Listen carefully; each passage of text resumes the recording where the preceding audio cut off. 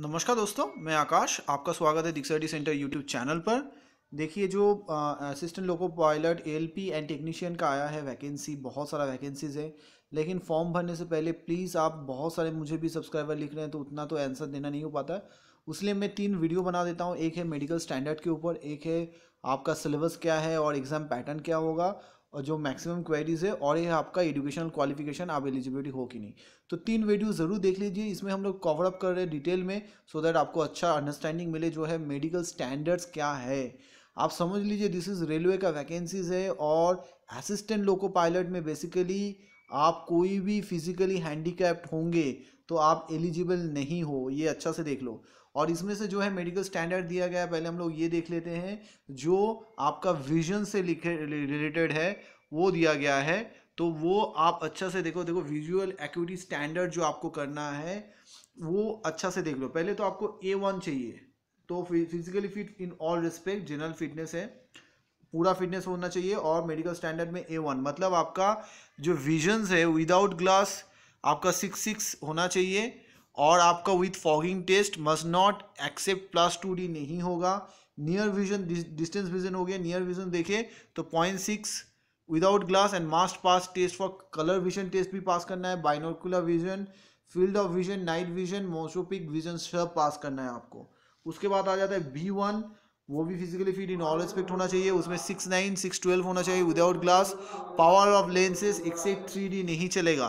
Near vision भी देख लीजिए पॉइंट सिक्स जो है, और आपको रीडिंग और close work required and must pass test for ये कलर विजन वैकुलर ये सेम है, आगे की तरह। और बी टू स्टैंडर्ड देख लीजिए बी टू स्टैंडर्ड है आपका क्या? Distance vision six by nine six by twelve होना चाहिए।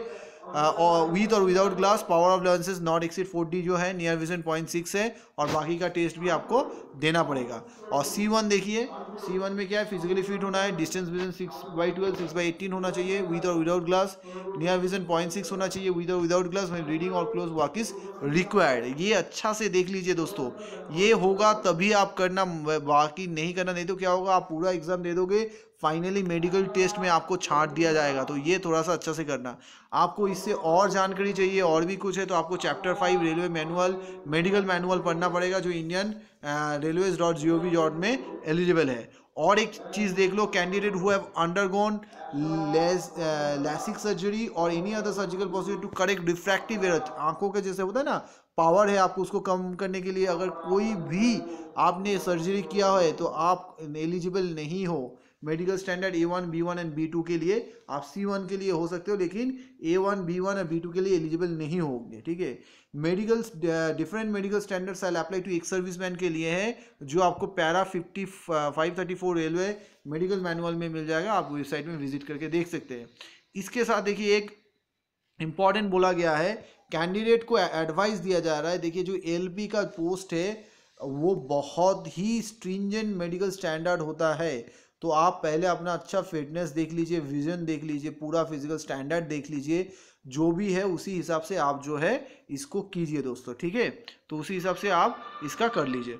उसके बाद हम लोग देख लेते जो हम लोग को और एक जो हम लोग को आता है, वो आप थोड़ा सा देख लीजिएगा, जिसमें आपको बोला गया फ़िज़िकल आप अगर हम लोग आते हैं, जिसमें आपका फ़िज़िकल रिक्वायरमेंट दिया गया वैकेंसी में, आप उसको आप एनेक्स्टर्स ए में मिल जाएगा आपको वैकेंसी का जो डिटेल्स दिया हुआ है, वहाँ पे आपको कौन सा कौन सा एलिजिबिलिटी नहीं है, वो ज़रूर आप देख लीजिएगा, ठीक है? तो हम लोग आपको दिखा भी देते। देखिए, यहाँ पे क्या है? ये देखिए annexure A this is annexure है यहाँ पे जो है आपका पोस्ट पैरामीटर देखिए assistant loco pilot department electrical sub department traction medical standard A one होना है। देखिए suitably for person in visibility V H O H H H नहीं है, नहीं होगा, ठीक है? उसी हिसाब से हम लोग देख लेते हैं असिस्टेंट लोको पायलट मैकेनिकल का, उसमें भी देखिए A one no no no no दिया हुआ है, ठीक है? आप जो भी वी एच वो सब आपका नहीं हुआ ए वन अच्छा उसके बाद आपका टेक्नीशियन देखिए वी टू तो ये कैटेगरी ज़रूर आपका होगा तो अप्लाई करना, नहीं तो अप्लाई मत करना, फिर आपको ये प्रॉब्लम हो जाएगा, ठीक है? जैसे देखिए टेक्नीशियन वी वन है, इसमें नो है, लेकिन O L O L and H H जो है वो एलिजिबल है टेक्नीशियन में। एक तो देखिए, ए के लिए तो एकदम एलिजिबल नहीं है। टेक्नीशियन में आपको डिफरेंट पोस्ट देखना पड़ेगा, जिसमें आपको कैटेगरी भी दिया हुआ है B two B one B one A one ये दिया हुआ है। आपको देख के फिर फिलअप करना है। आप देख के अच्छा से फिलअप कीजिए। नहीं तो क्या होगा, आप फिर फाइनली जब सिलेक्शन होगा, आप फिर डिस्कवालीफाई कर दिए जाओगे। तो दोस्तों चलिए, ये आपको डेफिनेटली आपको पता चल गया होगा मेडिकल स्टैंडर्ड यही है। आप फॉर्म फिलअप करते समय मेडिकल स्टैंडर्ड देख लेना। इसमें अगर आप आते हो तो ही अप्लाई करना मैं तो नहीं अप्लाई करना, नहीं तो आपका पूरा मेहनत जो है, वो बेकार हो जाएगा, ठीक है? क्योंकि रेलवे का जो मेडिकल टेस्ट होता है, बहुत बहुत टफ होता है दोस्तों। मैं खुद देखा हूँ, बहुत टफ होता है तो ज़रूर आप इसको ठीक से करना, ठीक है? चलिए वीडियो अच्छा लगा तो ज़रूर लाइक कीजिएगा शेयर कीजिएगा। थैंक यू फॉर वॉचिंग फिर मिलते हैं नया वीडियो के साथ। Till then good bye